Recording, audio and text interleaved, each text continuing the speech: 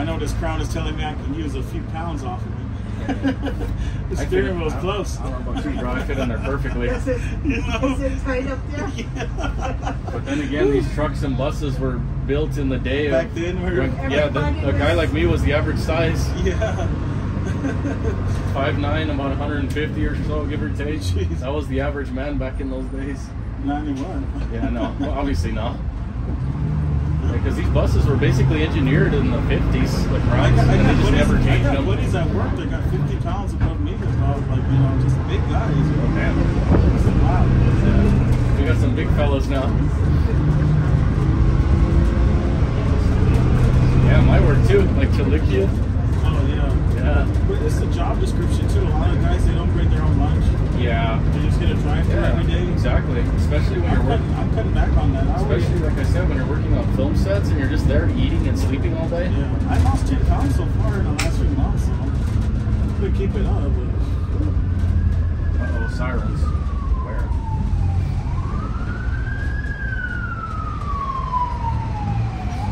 it sounds like a diesel. Or was that the car back there? Because I think some of these trucks are CNG too. Now. Yeah, which is not good because it's not as reliable as the diesel. Yeah. And that's also why fire trucks, a lot of them don't even have the DPF system on them because they know it causes so many problems. And Is that that pollution shit? yeah, the fire, Extra the fire, yeah, the, yeah, the the fire stations. I think they have like a, an exemption Oh. because when you drive by and you hear them and you smell the exhaust, you're like, "That's a diesel engine. It doesn't have the DPF in it." Good. Like I said, I would hope not because when you gotta go, you gotta go. You can't be waiting for shit.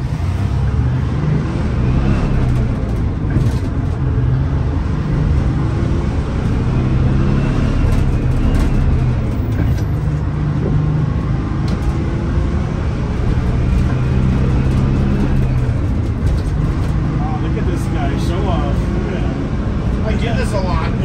Hey, did, did you used to drive? You said these for a living? yeah, but I drive these. I drive Frank's buses Oh, that's two or three times a week. Yeah, that's right. But still, you did it for a living too, so Used to. Were, were they these? You were driving these back when you Yeah. were just driving? did they have Gilligs too at your school district? Crowns. Just Crowns? Yeah, just like LA Unified, that was all Crowns because that's all there was down here. Missed. Because the factory was right there. Those were the days. Yeah. And then during their last few years under GE, I think they relocated out to Chino somewhere, and then that was it. I forgot where the Crown factory was, but somebody told me that it was around for quite some time before they finally demolished it. The one in downtown. I. I would assume it was probably by Bush Division too. Yeah, I think it was. I think it was. Yeah, by the Twin Towers. Yeah.